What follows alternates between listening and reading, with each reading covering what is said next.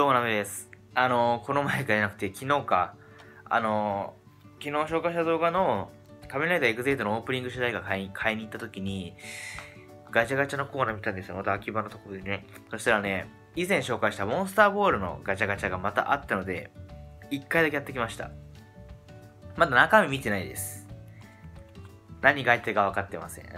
うん。か赤だから多分被ってないのかなと思うんですけど、以前出たのはスーパーボールとハイパーボールだったんで、モンスターボールかプレミアムボールかマスターボール、どれか1個出てくれたらなと思っております。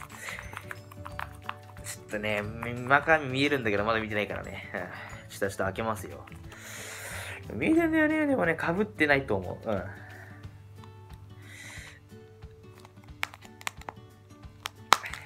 いしょ。これね。はいよ。じゃあ見ますよ。せーの。おおかぶってなかった。よかった。これでかぶってたらどうしようかと思ったんだけどね。おおてってれきた。はい。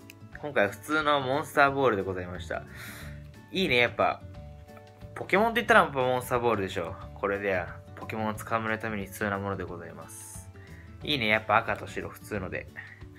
あと残るは、マスターボールとプレミアムボールだけですね。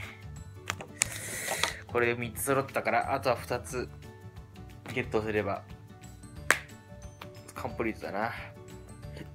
まあ、モンスターボールはね、ゲームでも最初の方で使うけど、まあね、珍しいポケモンとかだと、なかなかこのモンスターボールじゃ入りにくくなるので、ハイパーボールだったりね、いろんなボール使うわけでございますけど、僕ね、ゲームでもね、あのね、他のボール使わないんですよ。伝説とかでもモンスターボール使ってゲットした派なんですよ。うん。まあ、そのおかげでゲットできたんですけどね。うん。ほぼモンスターボールばっか使ってる。うん。ハイパーとかあんま使わないわ。うん。ほぼモンスターボールだけだ。伝説のポケモン捕まえるときもモンスターボール。なんかね、こだわりがあるんですよ。そのモンスターボールって捕まえたいっていうのがね、僕の中では。うん。でもよかった。被んなくてよかったですわ。もしまだ、ね、やってたら、あとね、2つともゲットしてコンプリートしたいなって思います。とにかく被らなくてよかった。本日も見ていただいてありがとうございました。じゃえーもしよろよろしかったら、えー評価やコメント、チャンネル登録など、えーよろしくお願いいたします。それでは。